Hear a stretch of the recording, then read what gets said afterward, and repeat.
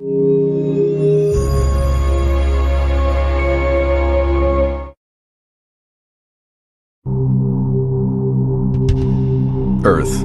a 4.5 billion year old planet, still evolving as continents shift and clash, volcanoes erupt, and glaciers grow and recede. The Earth's crust is carved in numerous and fascinating ways, leaving a trail of geological mysteries behind. In this episode, Krakatoa, one of the deadliest volcanoes in the world. More than 100 years ago, it erupted with such devastating fury that it wiped itself off the face of the Earth. In the process, it sent out the loudest sound in recorded history killed more than 36,000 people. And now, this deadly volcanic beast is back. Geologists investigate one of the world's fastest growing volcanoes to hunt for clues that will tell them if and when Krakatoa will explode once again with the same cataclysmic force. As they prize apart the rocks, the answers they find will be another piece of the puzzle of how the Earth was made.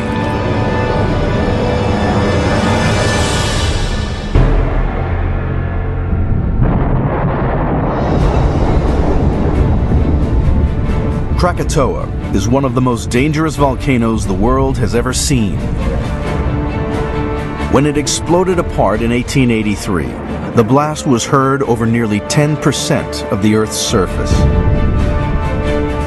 It was a worldwide clarion call announcing the awesome power of volcanoes. The site of this monstrous eruption lies between the Indonesian islands of Java and Sumatra, in a channel known as the Sunda Straits.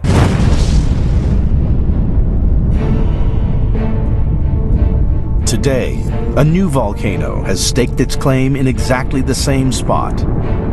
It's called Anak Krakatau, meaning the child of Krakatoa. Right now, it's in the middle of a new and extremely dangerous phase. Dr. Charles Mandeville traveled here to see if the child will one day be as deadly as its parent. To see if history is about to repeat itself. The stakes are high. At risk now are the one million people of Java and Sumatra who live within 50 miles of the volcano. Oh wow, look at that. We got a little explosion going on.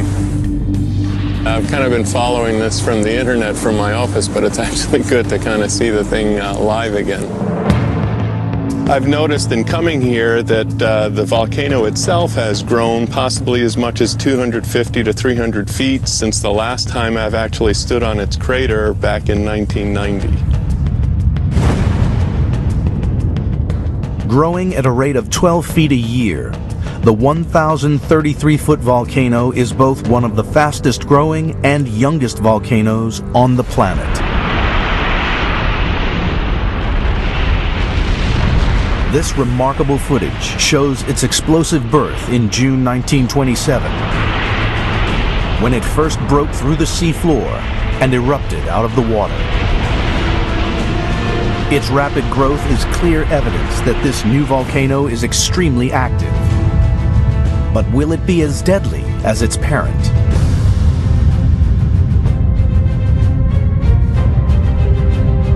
These eruptions are always accompanied by a series of ground-shaking tremors. For geologists, these small earthquakes are evidence that this volcano is entering a more destructive phase. Seismographs have been buried deep on Anak slopes to record this underground activity. But these small quakes are not the only sign of a dangerously active volcano. A more subtle clue is right beneath Mandeville's feet. Black sand beaches are very common in volcanic areas. Uh, the minerals and the glass fragments that comprise the ash that the volcano erupts is typically dark charcoal gray colored, and usually these materials don't stand up to weathering over long protracted periods of geologic time. But you find them in relatively fresh, pristine form when you're near an active volcano. Anak is rarely completely quiet. But the level of activity in 2008 shows that the volcano has become unusually violent. To discover just how much of a threat it could pose in the near future, volcano detectives must turn to their history books to learn what made its parent, Krakatoa, so destructive. This is a story that has fascinated geologists for over a century what got me switched onto volcanology was the 1883 eruption. I learned about this at school, and I remember thinking how incredible that an island could just blow itself into oblivion. You know, what was going on? What was that all about? What was special? You know, how does that happen? And could it happen again elsewhere on Earth? Before it exploded in 1883, Krakatoa was an uninhabited island with three jagged peaks covered in lush vegetation. It was part of the Dutch East Indies, a thriving, bustling hub of international trade. Indonesia's wealth of minerals and spices attracted many Western traders, journalists, and geologists. Their reports provide first-hand accounts of what happened before and during Krakatoa's deadly and shocking eruption. There had been no hint of volcanic activity in anyone's memory. No one had a clue that Krakatoa was about to blow. Beneath its green and placid surface, Krakatoa was a time bomb waiting to explode. So the first idea the locals would have got that anything was anything strange was happening on their island would have been in May 1883. Earthquakes, earth tremors,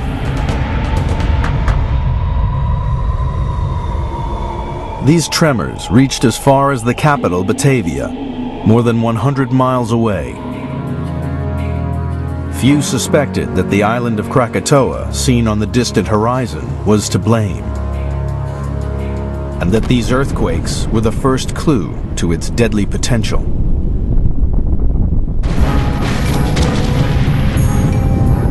Then, on May 20th, 1883, Krakatoa announced that it was no mere island.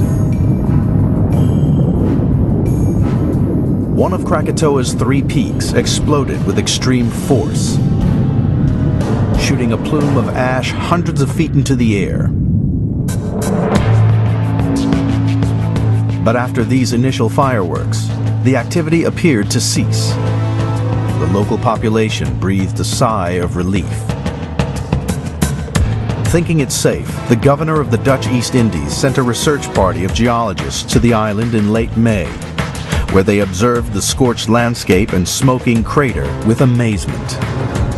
Their meticulous report gives modern-day geologists the first clue as to what lay behind Krakatoa's immense power. A key discovery was a layer of pumice one foot deep that covered the island's shores. This pumice is the solidified lava that comes from the heart of a volcano, and it's riddled with bubbles. These bubbles suggest to geologists that Krakatoa is a stratovolcano. And those volcanoes tend to be the classic volcanoes that you see in textbooks. They're very steep-sided, like sort of sharp, almost triangular type mountains. These are the most dangerous types of volcanoes on Earth. They are fueled by molten rock called lava, known as magma when it's underground. The magma that flows through these volcanoes is like liquid dynamite. Stratovolcanoes are dangerous because of the sorts of lava that they erupt. And the lava that comes out of stratovolcanoes is very sticky, viscous lava. And the danger there is that the sticky lava often contains large amounts of gas. The bubbles inside the pumice discovered on Krakatoa in 1883 show that the magma was once packed with explosive gases. Because the magma was so sticky, a term describing its thickness and resistance to flow. The gas could not easily escape. And the formation of gas bubbles in the sticky lava can be powerful enough to actually rip the lava apart, and in the, in, in, the process, you actually tear away the volcano. The whole thing becomes, becomes explosive, and you produce very dangerous volcanic activity. Krakatoa's magma had another deadly property. In some situations, the lava can become so sticky that it sort of freezes up and congests or chokes up the volcano it forms a kind of a plug or a seal. But what will happen is that uh, over time, more magma is coming up and being trapped beneath that plug. At some sometime in the future, the pressure would be so great that there'd be so much magma wanting to get up that you just rip the plug apart, and that can produce again a catastrophic volcanic eruption. This is exactly what happened at Krakatoa on May 20th, 1883. From then onwards, over the summer, it, it quietened down a bit, but this was really the kind of calm before the storm. The investigation into Krakatoa's deadly potential has produced important evidence. The frequent earthquakes on Anak Krakatau today indicate the volcano is still dangerous. The pumice from 1883 reveals that Krakatoa was a stratovolcano its sticky, gas-rich lava making it dangerously explosive. Krakatoa's eruption in May 1883 was spectacular, but beneath the surface, Krakatoa was refueling. An even greater eruption was gathering force out of sight and out of mind.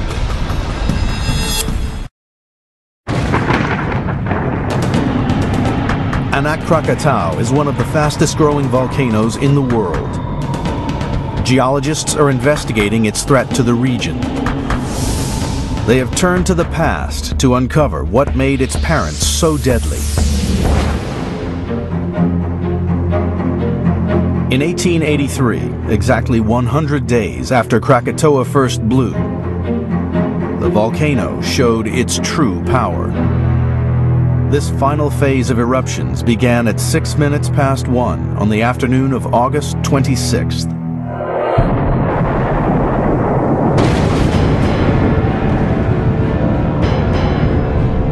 All three volcanic peaks erupted simultaneously, hurling dense clouds of ash and smoke an astonishing 17 miles into the sky. The eruption of Krakatoa was one of the, the biggest volcanic events of the last few hundred years, and it would have been to people observing it, it would have been like the, the, you know, the, beginning of the end of the world, if you like. The power of this eruption was immense, like a giant jet engine aimed skywards. The air quickly became choked with tons of thick black ash, blotting out the sun the temperature because of all the ash in the atmosphere would be stifling. And if you were very near on the for example the west coast of Java you, would be getting the ash in your throat and in your eyes. It would have been a real vision of hell. And a nightmare that showed no signs of ending. By the next morning of August 27, 1883 Krakatoa's three craters had been raging for more than 14 hours Then, sometime between 5.30 and 10.02 a.m., the land was deafened by a series of four huge explosions. The noise was so loud it could be heard over 2,000 miles away in the Australian desert near Perth.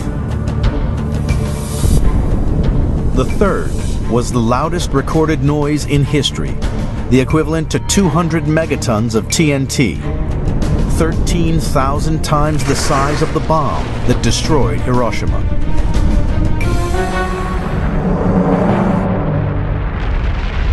What created this awesome explosion? The hunt for answers takes geologist Charles Mandeville to the jagged island of Rakata. This tiny island is in fact a part of the once mighty Krakatoa. The record of what the volcano did from May 20th to August 26th to 27th is here represented on the islands by the layered deposits that we see preserved in the jungle. This is a gold mine for a volcanologist trying to reconstruct the events that took place here because each one of these deposits tells us something particular about what the volcano was doing. This pumice was thrown out of the heart of the volcano in 1883. Mandeville believes that it holds the key to understanding the forces that destroyed Krakatoa. What I have in my hand is a mixed pumice or streaked pumice, and what it represents is that we had two magmas mingling in the conduit of the 1883 eruption of Krakatoa. The stripes are proof of the two types of magma inside Krakatoa. The lighter band represents the cooler, gas-rich magma that was present during the earlier eruption in May. This eruption only partially emptied the magma chamber. By August, this void was filled from deep below by searingly hot, dark-colored magma. When these two magmas mixed together, it was a lethal cocktail. The intense heat of the dark magma caused the huge amounts of gas within the light magma to expand.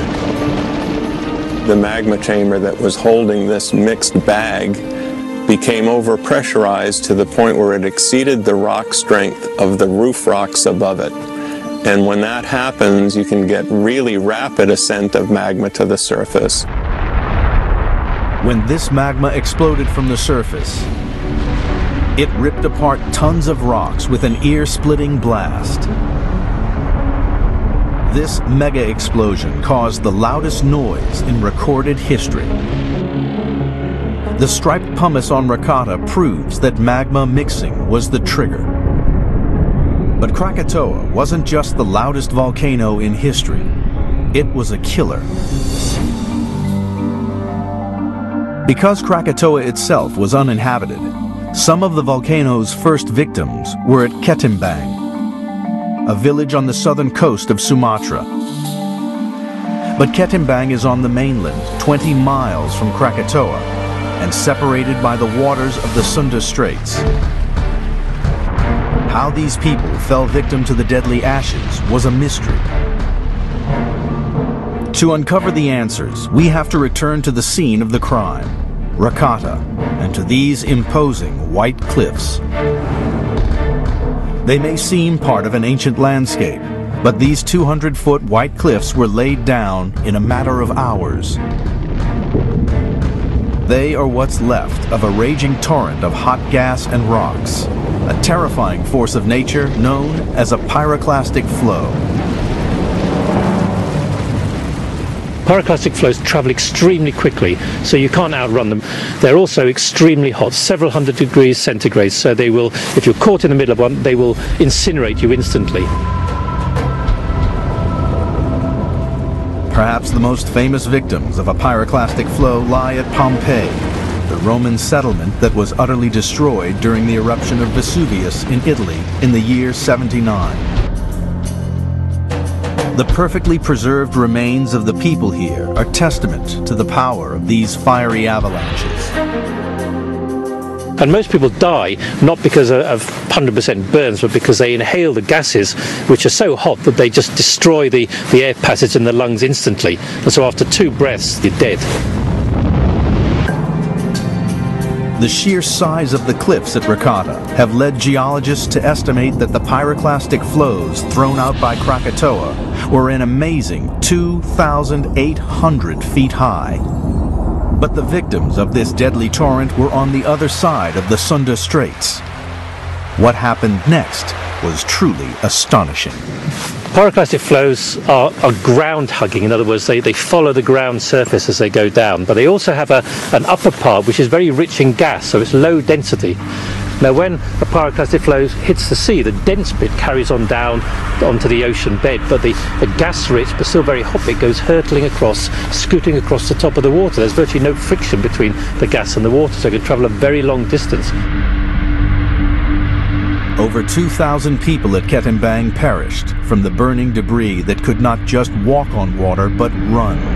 at amazing speeds of up to 200 miles per hour across 20 miles of open sea. The investigation into the Krakatoa volcano has pinpointed the extraordinary force that ripped the island apart. Striped pumice is proof that magma mixing created the vast explosion.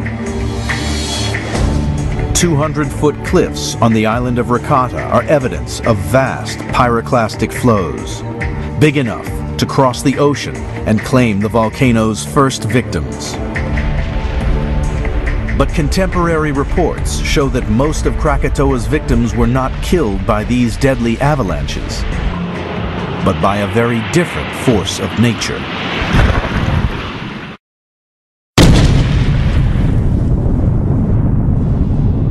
August 1883, Krakatoa's second and most deadly eruption. More than 2,000 people were killed by searingly hot pyroclastic flows. But there was worse to come. These gigantic boulders are on the shore of Anyer in Java, 22 miles away from Krakatoa. They are a crucial clue to what the volcano did here and a stark reminder of what could one day happen again. They are made of coral, which can only grow underwater. So some immense force unleashed by Krakatoa must have put them here. These shattered bricks are another piece of the same puzzle. They are all that remain of a lighthouse that once was one of the sturdiest buildings on the Java coastline.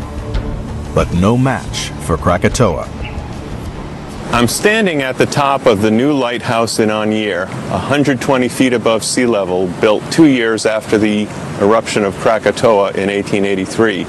The old lighthouse down there is nothing but a trace of bricks because it was wiped out by a large tsunami. Eyewitness accounts detail the exact height of this terrifying wave.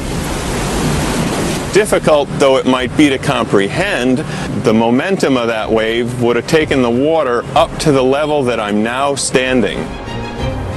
Krakatoa's death throes had triggered a massive wall of water that now raced towards the shore at Anyer. I don't think anyone living along the shores of Western Java or Southern Sumatra would have known about uh, the tsunami that they were about to face, and certainly nobody would, would have been able to survive those sorts of wave heights. The power of the wave can be seen in this 600-ton block of coral that was ripped from the seabed and smashed the lighthouse to pieces. Still here today, it provides some of the clearest evidence of the immense power of Krakatoa's 1883 eruption. The same wave that shifted this boulder also destroyed houses, villages, and transport, leaving nothing but twisted wreckage behind. The mighty wave even picked up and stranded a Dutch steamer, the Berouw, two miles inland.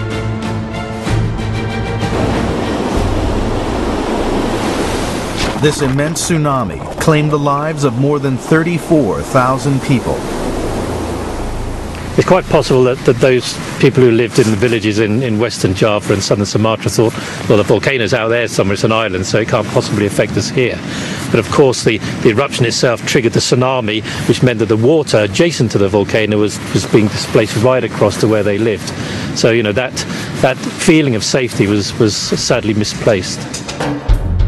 For modern day investigators, the puzzle was how fire and water had combined to wipe out an entire region. The evidence came from the shattered remains of the volcano itself, Rakata Island, part of one of Krakatoa's three original peaks. Its sheer vertical cliff face tells volcano detectives about Krakatoa's final moments. When you have a very large volcanic eruption, you evacuate a lot of magma, it leaves behind effectively a hole, so quite often the crust just collapses down into that hole, and that leaves behind what we call a caldera. Krakatoa had ejected such vast amounts of burning magma and rock, it could no longer support itself. Drain away the water, and we can see how it collapsed, creating an immense caldera. So this cliff behind me marks the edge of the 1883 caldera. Under the boat, this water depth is about 40 times as deep as most of the area around us. Uh, the scale of this collapse is pretty big. It formed a caldera that's about three miles in the north-south direction by about five miles in the east-west direction. This immense collapse has only occurred once in recorded human history. The combined weight and power of Krakatoa's awesome pyroclastic flows and this huge collapse was more than enough to trigger the tsunami. The riddle of just what had caused Krakatoa's tremendous tsunamis had finally been solved. When the smoke had cleared and the waters receded from the most devastating eruption in recorded history, the island of Krakatoa had vanished. In total, Krakatoa had killed 36,417 men, women, and children. It was, without doubt, one of the most dangerous volcanoes in history. But while investigating the 1883 eruption, scientists discovered ancient lava flows hidden in the jungle and on the seabed. This deadly volcano had struck before. But when scientists dated the lava flows, they hit a problem. Radiocarbon dating was only able to place the eruption to between the 1st and 13th centuries, a spread of 1200 years. Scientists needed more information in order to try and shed light on a new Krakatoa threat and help the hundreds of thousands of people living in the area.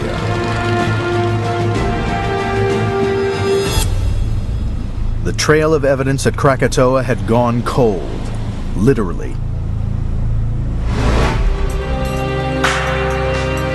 Because thousands of miles away from the sweltering heat of Indonesia, in the frozen wastes of the Antarctic, scientists recently discovered a critical clue to Krakatoa's explosive past. Well, ice cores are cylinders of ice that we drill from the ice caps in, in Greenland and Antarctica. Look at things like volcanoes. Um, any material coming from surrounding oceans make its way to Antarctica where we can detect it in the ice. You might imagine that we'd see the dust and the ash from a, a volcano. in fact, very little of that from the big um, Indonesian type volcanoes ever makes it to Antarctica. So what we do see is, is, sulfuric acid. Big volcanoes it spew out a lot of sulfur dioxide into the atmosphere, which is oxidized into the sulfuric acid, which we then measure in the ice. The sulfuric acid cannot be seen in the ice cores with the naked eye but can only be detected back at the British Antarctic Survey's lab, where the cores are kept at a continuous minus 13 degrees Fahrenheit. So this is a, a, piece of core from Antarctica. This is a piece from James, James Ross Island. It's about 10,000 years old, this ice. What we're doing now is measuring the volcanic signals. And what we see is very, very distinct, clear electrical pulses that come from the sulfuric acid from the volcanoes. So very quickly we can see all the volcano signals throughout the, throughout the whole core. One of the strongest signals found in the ice cores is from the 1883 eruption of Krakatoa. What we can see from the 1883 uh, eruption, we can't see the ash, but we can see a very large peak in sulfuric acid. In fact, it's one of the biggest peaks we've got in the last thousand years. It's such a big peak, in fact, that we use it to date the ice cores because it's like a reference horizon that we can see there. Each ice core is like a diary of the Earth's climate. Each layer of ice represents one year. In the same way that we can count tree rings, scientists can count back each layer of ice to determine the exact date of any eruption. Counting back from the 1883 signal, there is a huge spike in the sulfuric acid levels in the year 535. This is clear evidence of an enormous eruption during the dying days of the Roman Empire, an eruption far greater than Krakatoa's in 1883 we are now beginning to come to the conclusion that yes, there was a large volcanic eruption in 535. In fact, it looks one of the biggest ones on the record in terms of how much sulfuric acid it put into the atmosphere. The ice cores tell us a lot about this mystery volcano. Its eruption was so enormous that its impact was global. Its date falls exactly in the middle of the time span of the lava flows around Rakata. Could it be Krakatoa? The clues seem to fit. If they are the same eruption, this is evidence that Krakatoa has a far more deadly past. And potentially, a far more deadly future. Can we tell whether it's come from Krakatoa? That, that's more difficult. We can see it in Antarctica and we can see it in Greenland, so that tells us it was probably somewhere in mid latitude, so somewhere round about the equator maybe. Um, so it's possibility, but we cannot really pin it down at the moment. Despite this uncertainty, there is no doubt of Krakatoa's capacity for destruction. The steep cliffs at Rakata show that Krakatoa collapsed to form an enormous caldera, triggering a deadly tsunami. And yet ice cores from Antarctica suggest that Krakatoa may have exploded before, with even more force than 1883. To discover what originally created not only 1883 Krakatoa, but also the current Anak Krakatau, scientists will have to travel even further back in time some two million years.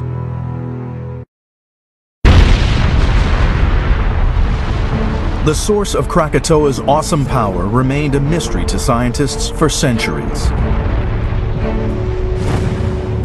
One clue is its location. Indonesia contains more volcanoes than anywhere else on Earth. Indonesia is a jackpot for volcanologists simply because the evidence of volcanic centers that may have lasted several million years are available and ready for observation and study. Incredibly, there are 21 of these fire mountains on the island of Java alone, an area the same size as New York State. The National Park of Tengger Bromo in East Java is one of Indonesia's most active volcanic zones. To view a landscape like this is actually humbling because it tells us that there are forces at work that far exceed anything that mankind can construct. But why there should be so many volcanoes in such a small area, no one could explain. A key discovery was that Indonesia lies adjacent to the notorious Ring of Fire, a chain of volcanoes stretching around the entire Pacific Ocean. In the 1950s, American geologist Harry Hess began research into the groundbreaking hypothesis known as seafloor spreading. This laid the foundation for plate tectonics. Plate tectonics is based on the idea that our planet is not a perfect and unbroken sphere. It's composed of eight major tectonic plates that jostle and jar against one another. These plates are driven by heat from the planet's core.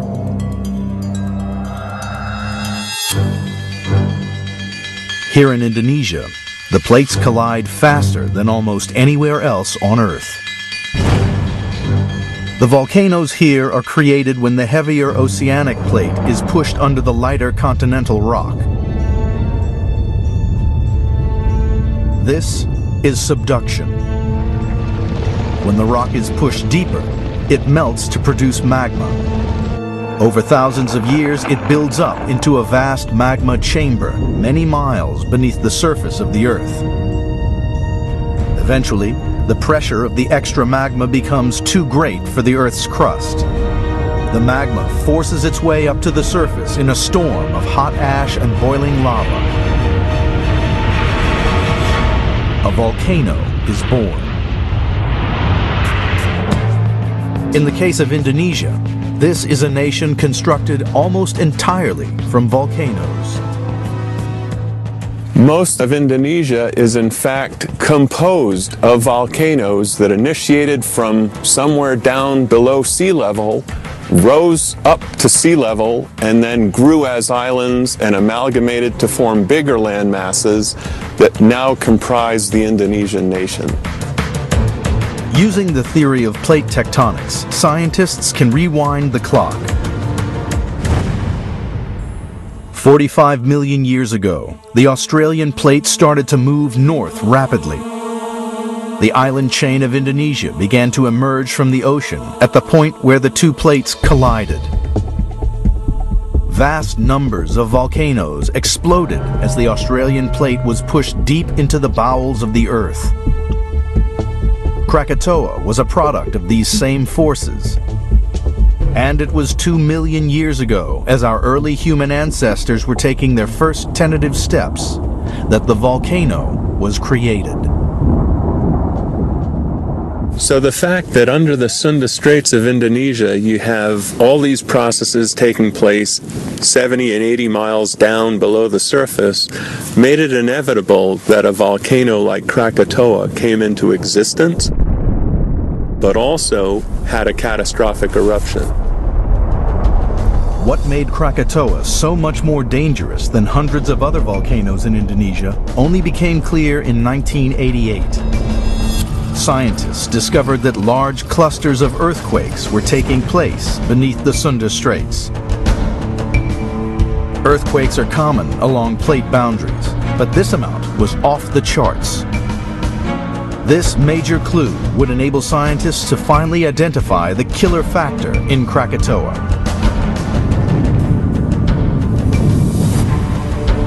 Beneath Krakatoa, in the middle of the Sunda Straits, the subduction zone contains a kink.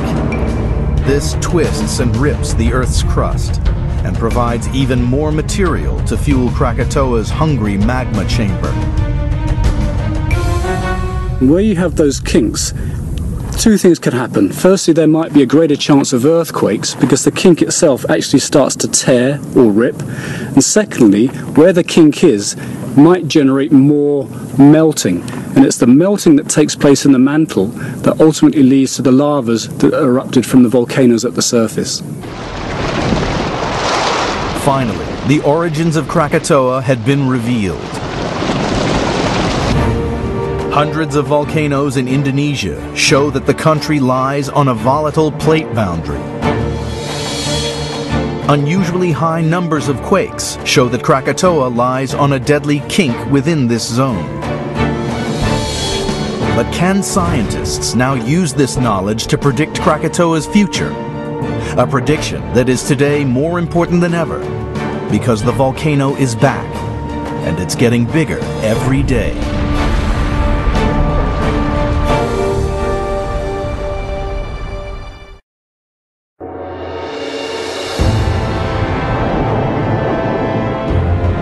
Today, these shattered islands are all that remain of the cataclysmic 1883 Krakatoa eruption. But a deeper understanding of this event is now more important than ever, because out in the straits, a new threat is growing. Krakatoa is back, in the form of Anak Krakatau, Indonesian for Child of Krakatoa. And that child is now an angry teenager. Like a phoenix from the ashes, Anak Krakatau is growing directly over the site of the original Krakatoa volcano, leading scientists to conclude it's being fed by the same magma chamber deep beneath the Sunda Straits. This deadly heritage means that Anak could potentially be one of the most dangerous volcanoes on Earth. But just how immediate is this threat? Since its explosive beginnings in 1927, Anak has erupted frequently and violently. As one of the fastest growing volcanoes on the planet, this 1,033 foot high mountain bears watching. Predicting exactly when another major eruption will happen is difficult, but there are clues. Underground tremors are a sure sign that the magma deep within the volcano is starting to move. We have seismometers stationed on the volcano that tell us when rocks are breaking not just at the vent, but in the subsurface, heralding the arrival of new fresh magma into the edifice, into the cone. These details are transmitted via radio signals to the monitoring station on the mainland, which is operated 24 hours a day. They have a simple scale to measure the threat, running from 1 to 5. Anything above a 3, and they go on red alert.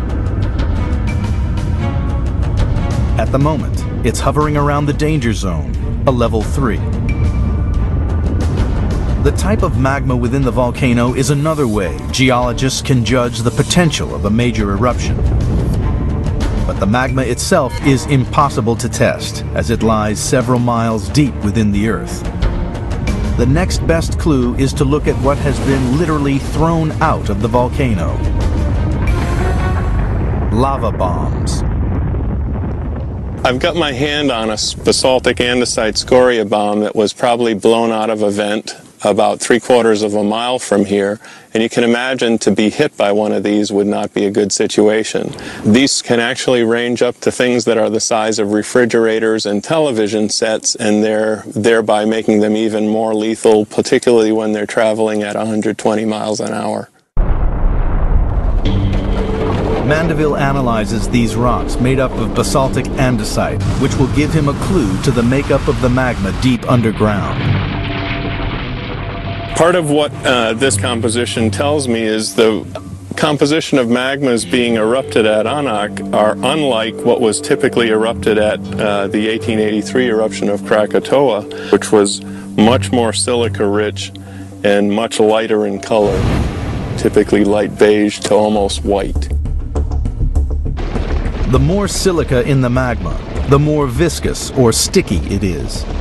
And that's what contributed to Krakatoa's explosive eruption in 1883. The explosive gases were trapped in the magma, and pressure had been building up over time.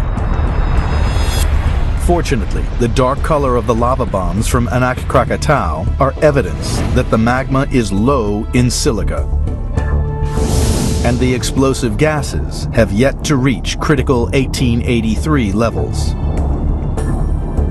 But this is not a permanent state. Over the years, a magma like this can, in fact, evolve into something that was that explosive. As Anak Krakatau grows, the magma will certainly become thicker and stickier. As in its parent, once the magma gets too sticky, the vent could become blocked. The silence could signal disaster. It means that pressure could be building up inside. Too much pressure, and Indonesia could suffer another cataclysmic explosion.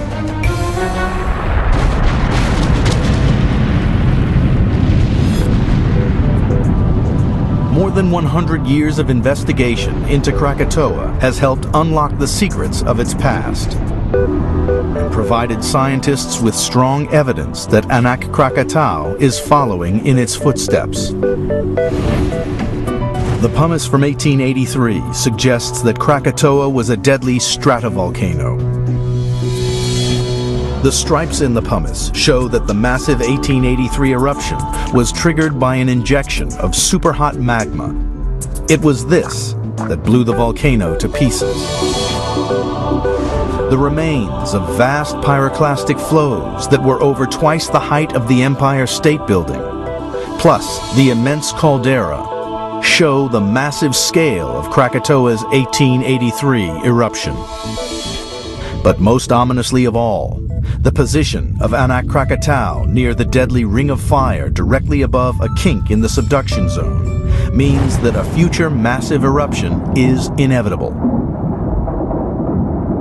A lot of the Anak Krakatau activity that we now witness today is actually almost a continuation of the volcanic activity that took place back in 1883. We could have another eruption here on the scale of the 1883 eruption of Krakatoa. The 1883 eruption of Krakatoa may be the most famous, but it is a geological certainty that it won't be the last. Krakatoa is on the rise again. Dynamic proof that the Earth is never at rest.